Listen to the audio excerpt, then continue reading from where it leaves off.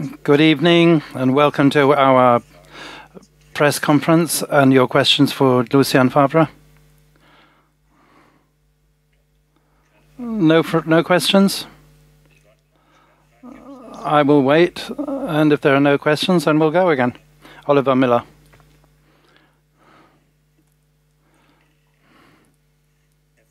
Herr Favre, a great first half.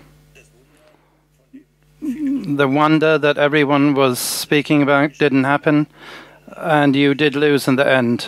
What do you think, uh, what kind of psychological effect do you think that will have on the team?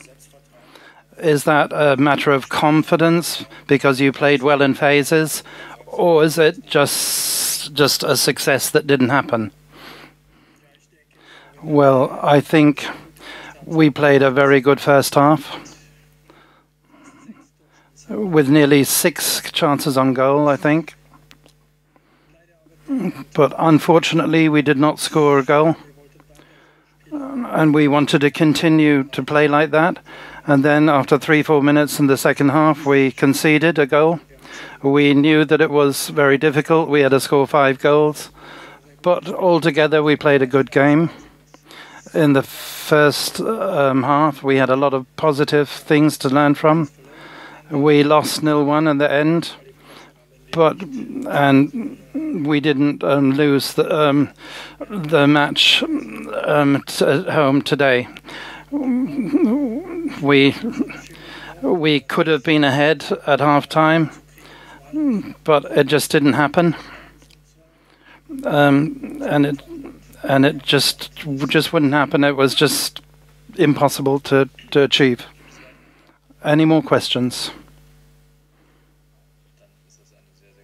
Well, then that is a very short um, press conference.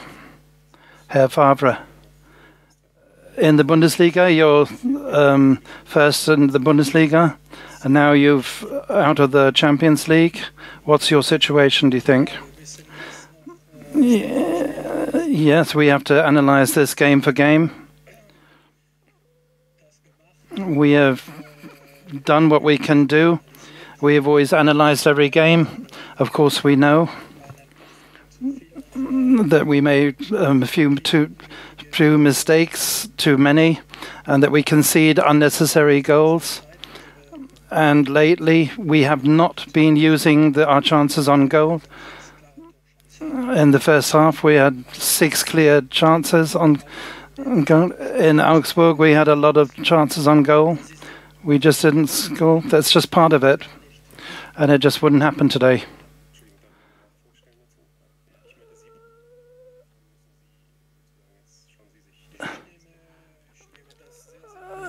I look at it very positive the way it is. There are a lot of positive things we saw. In the first half, there was only one team on the pitch for me, and we have to continue to play like that. Oliver Miller. So this is two questions. You conceded the goal just after the first half. That's not the first time that Borussia Dortmund concedes a goal right after the halftime. Is that coincidence or is it a lack of concentration? Second question, Paco Alcácer has played some great games, scored some great goals, but at the moment, he doesn't look all that happy. Does he think too much about things? Um, I can't say that. I can't think. When did we concede a goal? Uh, early on? Only in Tottenham? When did we concede a goal early early on in the second half? You said that we often conceded uh, a goal early on the half-time. I think it was also the case in a few other few games.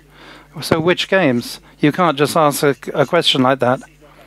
I'd have to research that again. Well, then you research that, hey? Okay, how about the second part of my I think I think it was away to Tottenham and then today. And for Paco? Yeah. We we had chances on goal. That's the most important thing. And sooner or later, we will score from our chances on goals. And we will try to continue here. Any further questions? Yeah. First question. Uh, Why didn't Hakimi play today? That was a sporting decision. Um, there's rivalry and competition in every game, uh, every team, and he didn't play today. And there was a second question. Okay, that was all I had. Okay, I'm looking. Any more questions? So if you have another question, please. No?